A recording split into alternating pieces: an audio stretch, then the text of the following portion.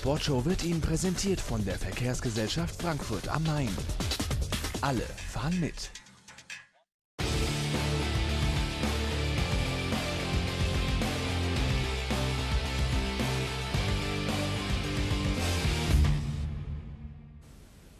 Hallo und herzlich willkommen zu einer neuen Ausgabe der Sportshow. Schön, dass Sie wieder eingeschaltet haben, dass Sie heute wieder mit dabei sind. Das heute unsere Themen.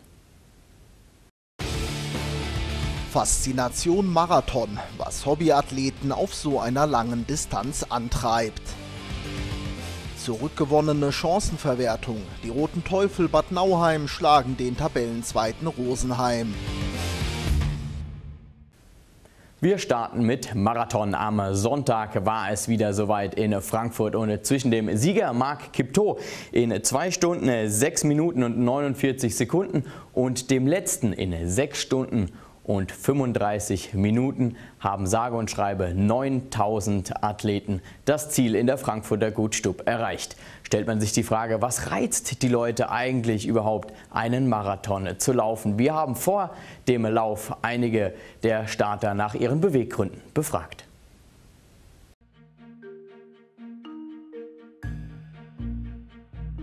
Ich habe riesen Respekt vor einem einzelnen Marathon. Und ich sage immer, also lieber laufe ich einen Marathon im Ironman als Solo, weil es ist, äh, klar, man versucht deutlich schneller zu laufen, wenn man den Solo läuft. Und das ist ein Geschwindigkeitsbereich, der wirklich sehr an die Grenze geht.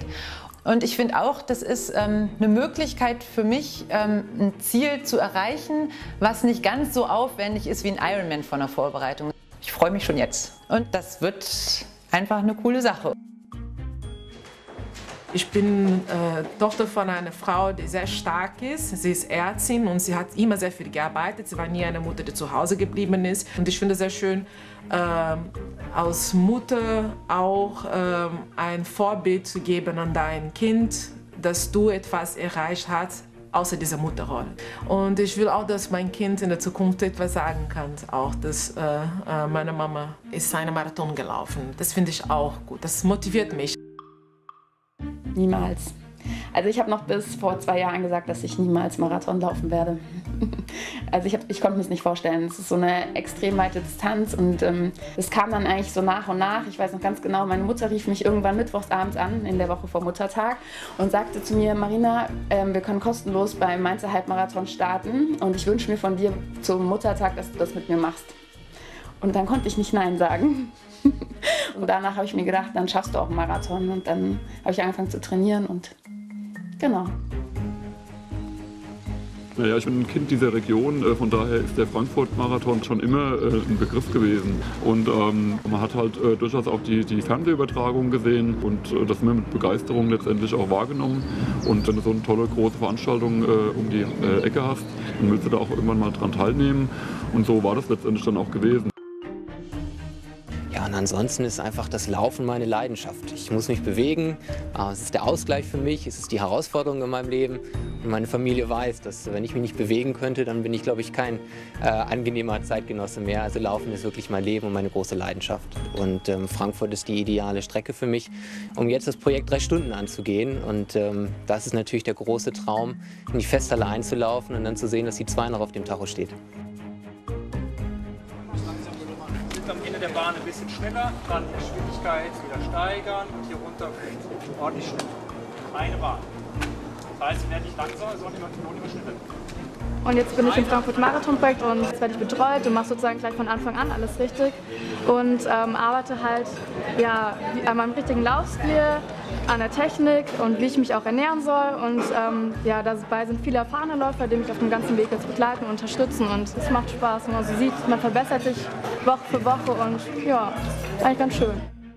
Für mich ist äh, dieser Frankfurt-Marathon, weil ich hier geboren, aufgewachsen und auch gearbeitet habe, äh, ist äh, eine Selbstverständlichkeit für mich geworden, da ich bisher äh, die 32 Frankfurt-Marathons erfolgreich beendet habe und natürlich den 33. auch machen muss und das auf jeden Fall erleben will. Ich habe äh, ja die Bilder von der Festhalle immer im Fernsehen äh, verfolgt. Und ich stelle mir das so vor, ich laufe in diese Festhalle ein, ein, ein Gänsehautmoment, äh, ich weiß, dass ich es geschafft habe und äh, einfach riesen Emotionen dann mit den ganzen Leuten, die einem zujubeln.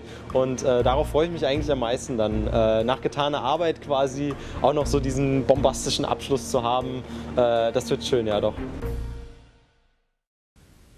Wir machen eine ganz kurze Pause und dann geht es hier gleich weiter mit Eishockey, genauer gesagt mit diesem Thema. Zurückgewonnene Chancenverwertung. Die Roten Teufel Bad Nauheim schlagen den Tabellenzweiten Rosenheim. Zu Gast im Studio Sportdirektor Daniel Heinrizi.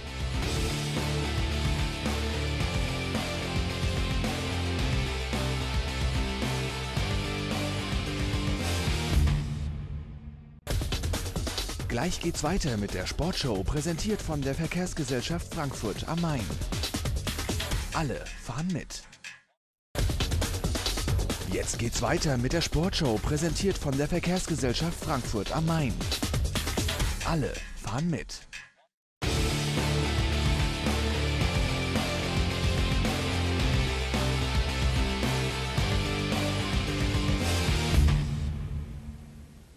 Wir sind zurück in der Sportshow und sprechen jetzt über Eishockey, genauer gesagt über den EC Bad Nauheim. Bei mir der Co-Trainer Daniel Heinrizi. Hallo und herzlich willkommen. Aktuell seid ihr auf Platz 5, nur ein Punkt hinter dem Tabellenzweiten. Da können wir zufrieden sein. Ja, definitiv. Momentan können wir zufrieden sein, aber das ist nur eine Momentaufnahme. Die Saison dauert noch sehr lang. Von daher ist noch viel Arbeit zu tun. Jetzt hat man ja auch irgendwo Punkte gelassen, klar, wie alle Teams auch. Ähm, weint man so liegen gelassenen Punkten immer noch mal ein bisschen hinterher? Man könnte jetzt auch Tabellenzweiter sein. Ja, ich glaube, die Liga ist sehr eng dieses Jahr. Jeder kann jeden schlagen. Viele waren enttäuscht darüber, dass wir beim Tabellenletzten am Freitag verloren haben. Aber es zeigt einfach, dass es eine Ausgeglichenheit ist. Und natürlich ärgern uns sechs Punkte, die wir unserer Meinung nach liegen gelassen haben, die uns vielleicht schon so ein bisschen ein Polster verschafft hätten nach unten, aber wir können momentan wirklich zufrieden sein. Aber es ist nur eine Momentaufnahme, es sind noch genügend Spiele vor uns, es können noch genug Punkte geholt werden und genug Punkte liegen gelassen werden. Du sprichst, wäre ein Polster nach, nach unten, das heißt, der Blick richtet sich eher nach unten als nach oben aktuell, oder? Nee, also der Blick richtet sich in beide Richtungen. Wir wollen uns natürlich oben in der oberen Tabellenhälfte festsetzen, mhm. unser Saisonziel verwirklichen. Und das zeigt einfach, wie ausgeglichen es ist. Wenn man einfach mal ein schlechtes Wochenende hat, an dem man vielleicht beide Spiele mal verlieren sollte, dann kann man halt auch ganz schnell von einem einstelligen vielleicht auf einen zweistelligen Tabellenplatz rutschen. Und das gilt es natürlich zu vermeiden. Würdest du sagen, du hast es eben schon mal so ein bisschen anklingen lassen, würdest du sagen, dass die DL2, die ja jetzt im zweiten Jahr ihrer Geschichte ist, ähm, in diesem Jahr ausgeglichener ist als letztes Jahr? Ja, also das kann man definitiv sagen. Die Liga ist wesentlich ausgeglichener, auch durch die Reduzierung der Ausländer und die Qualität an Spielern, die aus der DL in die DL2 gekommen ist, kann man nur von einer sehr ausgeglichenen Liga sprechen. Momentan marschiert Bietigheim ein bisschen vorne weg. Der Meister Bremerhaven dümpelt noch so ein bisschen am Tabellenende rum. Aber ich glaube, dass das wirklich bis zum Ende für die ersten zehn Plätze ein Rennen gibt. Irgendwann Richtung Weihnachten hin wird sich wahrscheinlich so wie letztes Jahr auch ein bisschen herauskristallisieren, wer sich in dem oberen Teil der Tabelle bewegt und wer eher um den unteren Teil der Tabelle mitspielt. Du hast es angesprochen, in der DL2 auch sehr viele Spieler mit DL-Erfahrung. Ähm, würdest du sagen, jetzt im zweiten Jahr, die DL2 ist auch bei den besseren Spielern akzeptiert? Ja, ich glaube, die Professionalität, die die Liga auch mit der Vermarktung jetzt an sich legt, wie sich rumspricht, wie professionell man sich an die DL annähert, dass es auch ähm, für Spieler, auch gerade ältere Spieler aus der DEL ein Anreiz ist, doch in die zweite Liga zu gehen. Nicht, weil die Liga schlechter ist, man hat das Beispiel Vitali Arp oder Dujan Frosch bei uns, die aus der DEL jahrelang gespielt haben und mhm. jetzt zu uns in die zweite Liga gekommen sind und die auch von dem Niveau der Liga sehr positiv überrascht sind. Allerdings, der Unterschied zwischen den beiden Ligen ist natürlich schon noch relativ hoch und vor allem, es gibt einfach keinen Auf- und Abstieg zwischen der DL und DL2. In deinen Augen siehst du das als, als Problem? Ich sehe es auch als Problem an. Ja, ich habe das auch in einer Umfrage mit der Eishockey News klar gesagt, dass das meiner Meinung nach noch das größte Problem ist. Mhm. Es ist einfach eine Tradition im deutschen Sport, dass es einen Auf- und einen Abstieg gibt. Es ist geplant, eventuell schon für die nächste Saison, beziehungsweise im Kooperationsvertrag ist es fest verankert, dass der Auf- und Abstieg von DEL 2 zu DEL auch kommen soll. Das waren auch Teil der Kooperationsverhandlungen und das ist auch wirklich wichtig und positiv, gerade für Standorte, die auch das Potenzial haben, in die DL aufzusteigen. Wäre Bad Nauheim so ein Standort in Zukunft mal gesehen? Also ich glaube, dass wir uns auf einem sehr, sehr guten Weg bewegen, aber es wäre natürlich auch infrastrukturell einige Dinge noch zu erledigen. Aber man soll niemals nie sagen, wie gesagt, wir als Organisation wachsen gemeinsam und schaffen Strukturen und man weiß nie, was die Zukunft bringt. Du bist ja vor allem als Co-Trainer für, für das Sportliche und gar nicht so sehr für das Marketing-Technische. Würdest du rein sportlich sagen, dann wäre eigentlich der Aufsteiger eigentlich auch immer der im Nachfolgejahr der potenzielle Absteiger, weil der Unterschied dann doch extrem hoch ist? Na, ich glaube, der größte Unterschied ist natürlich A, das Etat der mhm. Mannschaften. B sind natürlich auch die Ausländeranzahlen der DL höher und ich glaube, dass eine solide Basis an deutschen Spielern in der zweiten Liga spielt, die auch durchaus das Potenzial hätte, in der dritten oder vierten Reihe in der DL als Spieler zu spielen. Man sieht, dass viele DL-Vereine oft nur mit drei Reihen agieren und äh, die jungen deutschen Spieler dort teilweise noch als Platzhalter mhm. sind, aber das wird sich in Zukunft durch die Anpassungen der Ausländeranzahl und der deutschen Spieler auch ändern, was natürlich die Gesamtstärke der deutschen Spieler auch mit Hinblick auf die Nationalmannschaft stärkt. Das war jetzt alles so noch, noch ein bisschen Zukunftsmusik. Kommen wir zum Aktuellen, nämlich da war am Sonntag das Heimspiel gegen den Sportbund Rosenheim und für uns war der Kollege Carsten Breck mit dabei. Die Roten Teufel wissen doch noch, wo das Tor steht. Nach der 1:4 Niederlage vom Freitag beim Tabellenletzten Krimitschau am Sonntag zu Hause dann die Trotzreaktion. 5:2 Sieg gegen den Tabellenzweiten Rosenheim, die eigenen Torchancen konsequent genutzt und dran an den Top-Teams der zweiten Bundesliga. Wir haben an uns geglaubt mit äh, sehr guten Torwart und haben gekämpft und manchmal ist es schön, so ein Arbeitssieg Arbeitssieg zu holen, statt äh, mit Schönspielerei. Teufel-Goalie Jan Guritza hielt gegen die Starbulls, was zu halten war. Und vorne nutzten die Wetterauer auch wieder ihre Chancen. Noch vor Ablauf des ersten Drittels Überzahl Bad Nauheim. Drew Paris aus der Distanz. Patrick Strauch hält seine Kelle rein. Die 1 zu 0 Führung ohne ihren verletzten Kanadier Dan Ringwald, der mit einer Handverletzung bis zu zehn Wochen ausfallen wird, legten die Roten Teufel im zweiten Drittel nach. Matt Baker allein gegen drei Rosenheimer mit dem 2 zu 0. In einer rasanten Partie zeigten aber auch die Rosenheimer, warum sie auf dem zweiten Rang stehen. Timothy Kuhns mit dem Anschlusstreffer Sekunden vor der zweiten Pausensirene. Bad Nauheim davon im Schlussdrittel aber unbeeindruckt. Vitali Ab auf Tim May das 3 zu 1. Und keine Minute später die Vorentscheidung zum 4 zu 2 im Powerplay. Wieder Vitali Ab als Vorlagengeber für Patrick Strauch, der wieder seinen Schläger reinhält. Die zuvor kritisierte Chancenverwertung funktioniert wieder. Ich habe nie mit unserer Chancenverwertung beharrt, das sind andere Leute. Ähm, ich ich kenne das, man sieht, sieht ganz oft seine eigene Mannschaft ein bisschen zu kritisch, oder? Man denkt immer, dass man lässt viele, viele Chancen liegen, aber so wie man heute sieht, äh, ich glaube, Rosenheimer haben zum Beispiel viel, viel, viel, viel größere Chancen gehabt, lassen die liegen. Wir haben weniger, es, ist, es gleicht sich immer aus, aber man sieht es immer, glaube ich, durch, durch ein bisschen so Vereinsbrille, die ganze Sache. Die Starbulls sollten dann auch noch zum 4:2 Anschlusstreffer kommen durch Sergio Sommer. Doch auch wenn Kyle Helms sogar noch einen Penalty und somit die endgültige Entscheidung für Bad Nauheim liegen ließ, der Schlusspunkt war den Hausherren vorbehalten. Als Rosenheim in den Schlusssekunden ohne Torwart alles auf eine Karte setzte, traf Max Campbell zum 5:2 ins leere Tor.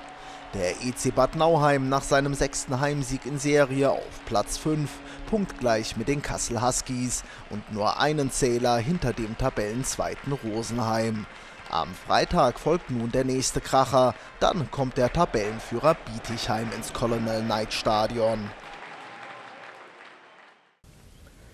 Ja, was macht in deinen Augen, was macht euch im Moment so stark? Na, ich glaube, dass wir einen wesentlich ausgeglicheneren Kader haben als letzte Saison. Wir haben viel Erfahrung mit reingebracht und ähm, man kann jetzt nach fast zweieinhalb Monaten wirklich sagen, wir haben eine charakterstarke Mannschaft, die sich auch von Rückschlägen nicht ähm, beeindrucken lässt. Und wir steigern stetig unser Defensivverhalten, gerade im eigenen Drittel. Haben wir auch gestern gesehen, Rosenheim hatte auch Spielanteile gehabt im Spiel viele Chancen gehabt, aber wir haben es gut verstanden, sich von der gefährlichen Zone, dem Slot fernzuhalten. Und ich glaube, wenn wir darauf aufbauen, dann sind wir auf einem guten Weg. In der Offensive haben wir viel Potenzial, sind in der Lage, unsere Tore zu schießen. Und ähm, wenn wir das auf eine solide Defensive noch aufbauen und das auch wirklich ähm, kontinuierlich machen, dann glaube ich, dass wir auf einem wirklich sehr guten Weg dieses Jahr sind. Aber es bleibt erstmal beim Saisonziel Einzug in die Playoffs. So ist es. Das ist unser Saisonziel, egal wie, ob das über ja. die Pre-Playoffs ist oder der direkte Weg, den wir natürlich bevorzugen würden. Aber das ist unser Ziel, unter die ersten zehn zu kommen. Im letzten Jahr warst du gegen Ende der Saison dann Cheftrainer, Interimstrainer, nachdem ähm, Frank Karnevale entlassen wurde. Du hast damals aber auch schon gesagt, das ist für dich keine Option, auch für dieses Jahr, weil du als, als Trainer auch noch ein bisschen lernen willst. Mit deinem jetzigen Cheftrainer Pietrik Kujala, was kann man da von ihm noch lernen? Was ist er für ein Typ? Ja, Petri ist ein sehr ruhiger Typ, sehr akribischer Arbeiter. Wir haben dieselbe Philosophie vom Eishockey. Wir kennen uns jetzt seit acht Jahren und es war, so wie du es gesagt hast, ein Wunsch von mir, eben auch noch ein bisschen reifen zu können. Man kann seinen Horizont immer erweitern und es macht einfach Spaß, mit Petri zu arbeiten, weil man sitzt in der Kabine und man spricht über dasselbe, man spricht dieselbe Sprache, man hat dieselben Vorstellungen, den Standort weiterzuentwickeln, die Mannschaft zu entwickeln. Es ist immer sehr akribisch, wie nachgearbeitet wird, wie mhm. vorgearbeitet wird. Und da nimmt man einfach Sachen mit, ähm, wo man immer profitieren kann von. Aber langfristiges Ziel wäre schon irgendwann wieder der Cheftrainerposten? Ja, ich glaube, ich habe da noch ein bisschen Zeit. Mit Petri macht es sehr viel Spaß. Und ähm, was die Zukunft bringt, ich habe, wie gesagt, bin jetzt 30 Jahre alt, habe da noch ein bisschen Potenzial und mit Petri macht sehr viel Spaß. Von daher würde ich mich freuen, wenn wir beide noch lange zusammen in Bad Nauheim arbeiten würden. Was sagen denn die beiden zur Langzeitverletzung von äh, Dan Ringwald? Gibt es da, wird es Nachverpflichtungen geben? Also wir werden, haben uns am Freitagabend schon entschlossen, ich habe bis tief in die Nacht den Markt intensiver sondiert. Also als sportlicher Leiter habe ich den Markt natürlich nie aus den Augen gelassen, weil man immer auf Verletzungen vorbereitet sein muss. Wir werden die Deutschland-Cup-Pause nutzen, den Markt intensiver zu sondieren und wenn wir die abschließenden Ergebnisse von der Untersuchung vom Dan Ringwald haben, werden wir eine Entscheidung treffen, wenn wir definitiv wissen, wie lange er ausfällt. Wir gehen momentan von acht bis zehn Wochen aus mhm. und dann werden wir eine Entscheidung treffen, wie wir reagieren werden. Die Möglichkeit zu einer Nachverpflichtung ist da, sie ist aber nicht zwingend notwendig. Momentan, weil wir uns auch auf die guten Kooperationspartner, die Düsseldorfer EG, verlassen können, wo wir immer die beiden jungen Verteidiger, Corey Mapes und Jonas Noske, abrufen können, vielleicht auch mal beide. Von daher werden wir bis zur Deutschland-Cup-Pause mit Sicherheit keinen Schnellschuss tätigen, mhm. aber in der Deutschland-Cup-Pause ist die Möglichkeit da, wenn der richtige Spieler dabei sein sollte, dass auch reagiert werden kann, aber es ist nicht zwingend erforderlich. Du hast gesagt, gleich noch äh, nachts, abends noch den Markt sondiert. Wie hat sich das der, der Fan vorzustellen? Schaut man dann, wer ähm, vor der Saison schon angeboten wurde, ob die jetzt noch verfügen sind, verfügbar sind oder wie hat man sich das vorzustellen? Ja, so ähnlich kann man es sagen. Also wo wir wussten, unsere medizinische Abteilung in Krimitschau, dass Dan Ringwald wahrscheinlich länger ausfallen wird, habe ich mich gleich ans Telefon gehangen mit den kanadischen Beratern, mhm. die Spieler, die eben auch im Sommer angeboten sind, wo man weiß, die haben noch keine Verträge beziehungsweise haben Verträge in der East Coast oder in der AHL bekommen die Interesse hatten, rüberzukommen, sondiert man das eben, ob die noch Interesse haben und ob der Spielertyp, der natürlich Dan Ringwald ersetzen kann, ist schwer zu finden. Und von daher werden wir uns da auch Zeit lassen und keinen Schnellschuss trügen. Wir wollen gleich noch über die kommenden Spiele sprechen, machen aber erstmal eine zweite kurze Pause. Bis gleich.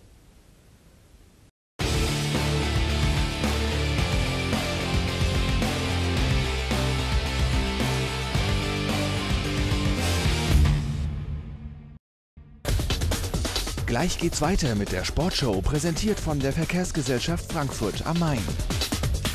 Alle fahren mit. Jetzt geht's weiter mit der Sportshow, präsentiert von der Verkehrsgesellschaft Frankfurt am Main. Alle fahren mit.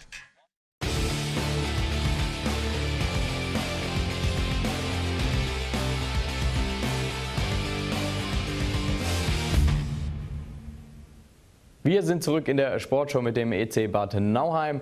Wir haben vorhin schon mal über das Verhältnis von dir und Cheftrainer Petri Kujala gesprochen. Ähm, du hast gesagt, selbe Philosophie. In deinen Augen, was spielt der Nachwuchs für eine Rolle in dieser Philosophie?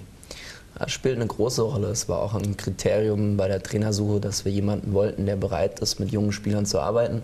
Petri hat ähm, einige junge Spieler in Ravensburg entwickelt, die jetzt auch in die DL gekommen sind und war auch lange Zeit Nachwuchscheftrainer in Ravensburg gewesen und arbeitet wirklich sehr, sehr detailliert, kümmert sich sehr um die jungen Spieler, analysiert wirklich einzeln mit ihnen ihre Wechsel, ihre Fehler, spricht viel mit ihnen und das ist so ein äh, Selbstvertrauen, was du als Trainer dann den jungen Spielern gibst und das zahlen unsere jungen Spieler mit Leistung zurück und da sind wir wirklich momentan sehr zufrieden, aber warnen die jungen Spieler auch immer davor, nicht zufrieden zu sein, sondern eben an sich weiterzuarbeiten. Das heißt, da gibt es dann auch nochmal extra Schichten für die Jungen.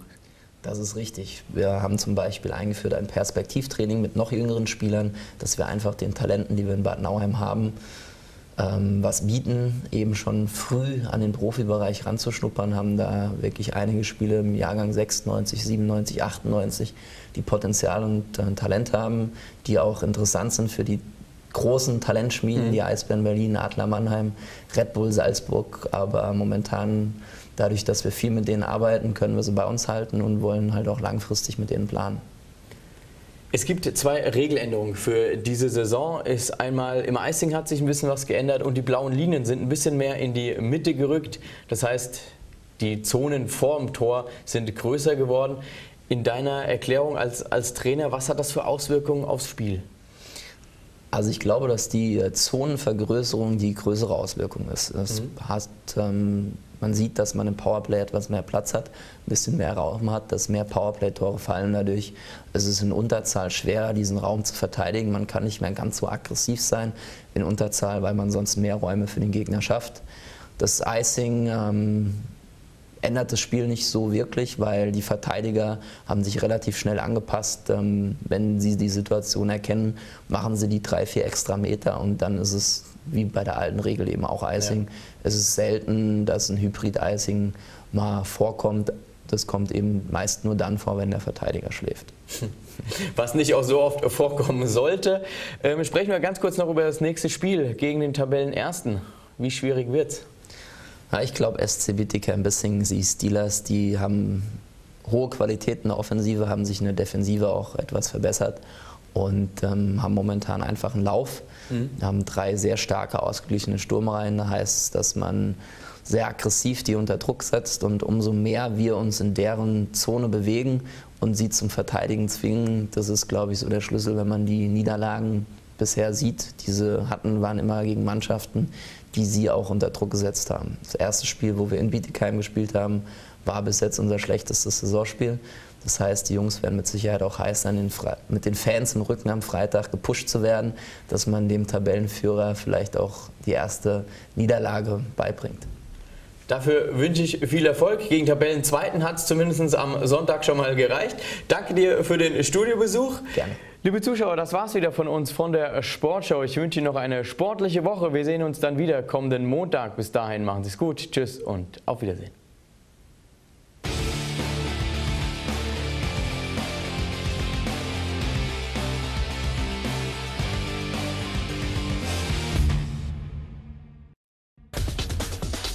Sportshow wurde Ihnen präsentiert von der Verkehrsgesellschaft Frankfurt am Main.